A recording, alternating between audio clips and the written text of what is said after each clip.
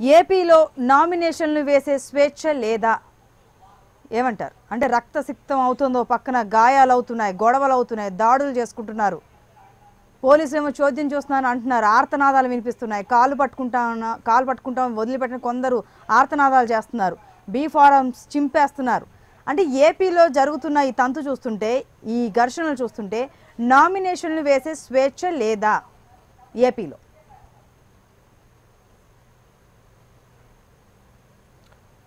ఒకటండి ఈ ఎలక్షన్స్లో వైసీపీ పార్టీ ఒక కొత్త ఒరవడి అంటే ఒక బ్యాడ్ కల్చర్ని తీసుకొచ్చింది. ఏంటంటే తీసుకొచ్చినటువంటి బీఫామ్ను లేకపోతే ఆ డాక్యుమెంట్ను చించేయటం.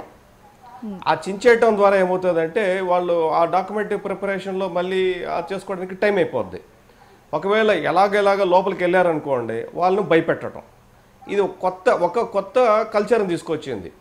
ఈయన అధికార ఆయన వైసీపీ ఆయన మాట్లాడుతున్నాడు ఆయన నోటికి హద్దే లేదు. ఆ అంత లెవెల్లో మాట్లాడుతున్నాడు. ఆయన ఏం మాట్లాడుతున్నాడో ఈ కాన్షియస్ ఉండి మాట్లాడుతున్నాడో లేకుండా మాట్లాడుతున్నా నాకైతే అర్థం అవటం లేదు. రాజకీయ పార్టీలు ప్రజల చేత ప్రజల ఇన్ బిహాఫ్ ఆఫ్ పబ్లిక్ రిప్రజెంటేటివ్స్గా ఉంటాయి.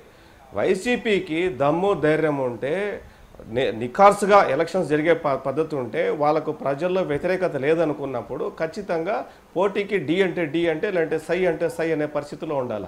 అంతేగాని ఈ బీఫాములు జించటం లేకపోతే బెదిరించటం వేరే ఊరికి వెళ్ళిన వాళ్ళని కొట్టటం ఇలాంటి హరాస్మెంట్ చేసి బెదిరించి భయపడించి రెండోది ఏంటంటే నేను ఒక ఒకటి చూసాం మనం ఇందాక. ఒక విజువల్లో వైసీపీ వాళ్ళే మంది ఎత్తుకొని పోయి పెట్టారు వాళ్ళ ఇంటి మీద.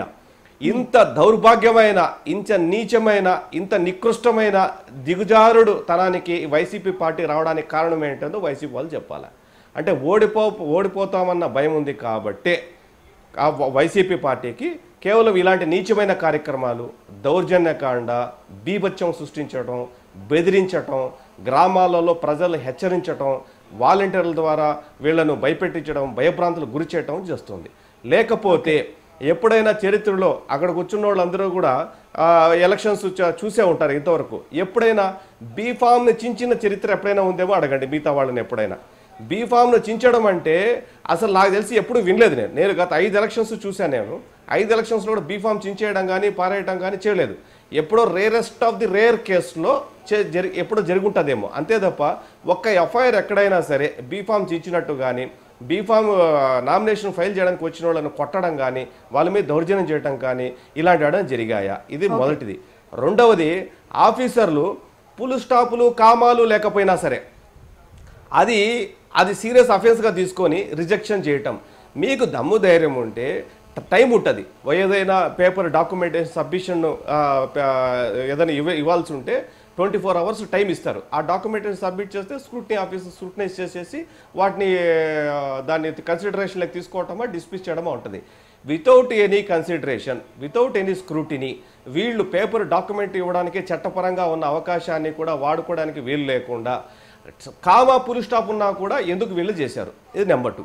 Okay. Number three ఏంటంటే అసలు ఇనానిమస్. అంటే ఇనానిమస్ ఎప్పుడు ఉంటుంది ఇనానిమస్ అన్నదాన్ని రాష్ట్ర ప్రభుత్వాలు మా- ముఖ్యంగా గ్రామ గ్రామ సర్పంచుల్లో మామూలుగా ఎంకరేజ్ చేస్తారు. ఎందుకంటే గ్రామం మొత్తం ఒక నిర్ణయానికి కట్టుబడి మేము పలాని వ్యక్తిని గ్రామ సర్పంచ్గా ఎన్నుకుంటున్నామంటే ప్రోత్సాహకాలుగా ఇచ్చే పరిస్థితిని గవర్నమెంట్ ప్రభుత్వంలో చూస్తాం. ఇది ఉంది. సిస్టంలో ఉంది. పది లక్షలు ఐదు లక్షలు ప్రోత్సాహకాలు ఇస్తాం. ఈ ఇది ఎట్లా ఉందంటే ఎవ్వరు వేయొద్దు అంటే నామినేషన్ వేరే వాళ్ళు వేయొద్దు వేయకుండా బలవంతంగా ఇనానిమస్ చేసుకోవటం. ఇది చట్టం అనుమతిస్తుందని చెప్పి వీళ్ళ అభిప్రాయమా? అంటే వీళ్ళ పార్టీకి వీళ్ళు ఇనానిమస్ చేసుకుంటే కోర్టులు లేకపోతే ఎలక్షన్ కమిషన్ ఆఫ్ ఇండియా చూస్తూ సైలెంట్గా ఉంటాయా? ప్రతిపక్షాలు చూస్తూ గమ్మునుంటాయా? హైకోర్టు గమ్మునుంటుందా? సుప్రీంకోర్టు గమ్మునుంటుందా? ఈ ఎలక్షన్ మళ్ళీ రీకాల్ఫర్ చేస్తే వీళ్ళ పరిస్థితి ఏంటి? ఒక్కసారి ఆలోచించుకొని వీళ్ళు దౌర్జన్యాలు చేస్తున్నారా. వీళ్ళు దౌర్జన్యాలు చేయటం వల్ల ప్రజల్లో చులకన వీళ్ళే. మేము కాదు ప్రతిపక్షాలు కాదు. చులకనమైంది వాళ్ళే. ఇంత దౌర్జన్యమా? మేము ఎందుకు ఓటేసాంరా బాబు వైసీపీకి? ఇంత దౌర్జన్య కాండ చేస్తారా ప- మేము తెలుగుదేశం పార్టీని చెప్పింది నిజమైంది. వీళ్ళు పులివెందుల పంచాయతీలు పెట్టారు ప్రతి ఊర్లోనూ. ఈ దౌర్జన్యాలు అంటే వీళ్ళు చెప్పొచ్చేది ఏమిటంటే డబ్బును మేము వాడకుండా మద్యాన్ని మద్యం లేకుండా ఎలక్షన్ నడపాలి. ఆ రెండూ లేకుండా కొట్టండి తిట్టండి బెదిరించండి భయభ్రాంతులు గురి చేయండి నరకండి బాంబులు వేయండి. అలానే ఏమైనా చేయండి. ఈ రెండు మాత్రమే చేసేసి విద్యాసాగర్ గారు. నేను దాని గురించే మాట్లాడతా. అవి ఎవరు అఫీషియల్గా అనౌన్స్ చేయరండి. అవన్నీ అఫీషియల్గా అనౌన్స్ చేయరు. అఫీషియల్గా ఏం చేశారంటే ఈ రెండు కట్ చేసి మిగతాడవన్నీ చేయమని చెప్పేసి క్యాడర్కు ఇన్ఫర్మేషన్ ఇచ్చారు. అవే చేస్తున్నప్పుడు క్యాడర్ ఇదంతా కూడా. నేనేమంటున్నానంటే మీకు అంత స్వచ్ఛంగా అంత నిజాయితీగా మీరు కనుక ఇనానిమస్ చేసుకునే పరిస్థితి ఉంటే అన్ని ప్ర అన్ని లోకల్గా ఉన్నటువంటి అన్ని పాలకపక్షం ప్రతిపక్షం అన్ని కూర్చోబెట్టి నిజాయితీ పాలన చేద్దాం నీతివంతమైన పాలన చేద్దాం ఈ వార్డుకు వీళ్ళని నిలబెడదాం ఈ వాళ్ళకి ఇనానిమస్ చేద్దాం అని చెప్పి అందరితో ఏకీభ ఏకీభ ఏ- ఏ- అంటే అందరిని ఒప్పించి మెప్పించి ఒక సింగిల్ గనక మనం ఒక బీఫామ్ అక్కడ పోయింటే అది కరెక్ట్. ఎస్ వీళ్ళు చేస్తుంది కరెక్ట్ అనొచ్చు. ఇప్పుడేంటంటే వీళ్ళు చేస్తున్నది అసలు గేటు కూడా ఓపెన్ చేయలేడం లేదండి పోలీసులు. అంటే వైసీపీ బీఫామ్ ఉన్నోళ్ళు తప్ప వేరే వాళ్ళు లోపలికి పోకూడదు. ఏమి అంటే ఇది ఇంతే. పోలీసు వాళ్ళు చెప్తున్నా మళ్ళీ చెప్తున్నానంటే నేను కూడా చెప్పాను మీకే. పోలీసు వాళ్ళు కాకి డ్రెస్లో ఉన్నటువంటి వైసీపీ కార్యకర్తలు అయిపోయారు నిజాయితీ పరులు కూడా పోలీస్ శాఖలో శాఖలో ఉన్నటువంటి నిజాయితీ పరులు కూడా వీళ్ళని మచ్చ చేస్తున్నారు. వాళ్ళ మీద బురద జల్లేసి ఎంటైర్ పోలీస్ శాఖనే వీళ్ళు నిర్వీర్యం చేస్తున్నారు రాష్ట్రంలో. కేవలం ఈ రాష్ట్రంలో జరుగుతున్నది దౌర్జన్యకాండ. Okay. బీజేపీ వాళ్ళని కొడతారు. జనసేన వాళ్ళు కొడతారు. టీడీపీ వాళ్ళని కొడతారు. ఇండిపెండెంట్ వాళ్ళు కొడతారు. ఏ వీళ్ళకి అడ్డు అదుపు లేదు ప్రభుత్వంలో. వీళ్ళు. ఏం చేయాలనుకుంటే నడుస్తుంది. Okay. ఎంతో కాలం అయితే నడవదు. రవీంద్ర గారు మీ పార్టీ ఒడ్డున చేరిన పడవ అన్నారు. ఎంతమంది వచ్చినా ఏదో చోటు ఇస్తాం సిద్ధాంతాలు నచ్చి వస్తున్నారు కాబట్టి కాదని అనలేం కదా వచ్చేవాళ్ళని అన్నారు. మరి ఇంత బలమైన పార్టీ గెలవలేక భయపడుతోందా? అందుకే ఈ దాడులు చేయిస్తోందా? అంటే ఆ విమర్శలకు మీ సమాధానం ఏంటి? నేను చెప్తానమ్మా. ఈ విద్యాసాగర్ గారు ఎవరైతే ఉన్నారో ఆయన చాలా ప్రశాంతంగా మాట్లాడారమ్మా. ఆయన చాలా డిబేట్లు చూశాను. అన్ని డిబేట్లలో కోప్పడకుండా వేరే వాళ్ళ మీద విరుచుకుపడకుండా ప్రశాంతంగా సమాధానం చెప్పింది ఒకటేని అందులో మీరు కూడాను రాజేష్ గారికి చైతన్య గారికి నాకు ఎంత సమయం ఇచ్చారో ఆయన ఒకరికి ఫోన్ కాల్ అంత సమయం ఇచ్చారు మాకు కూడా అంత సమయం ఇవ్వాలని కోరుకుంటున్నాను. మీరు గమనించాలమ్మా పోలీసు శాఖని విమర్శించారు ఆయన ఎన్నికల కమిషన్ కూడా విమర్శించారు.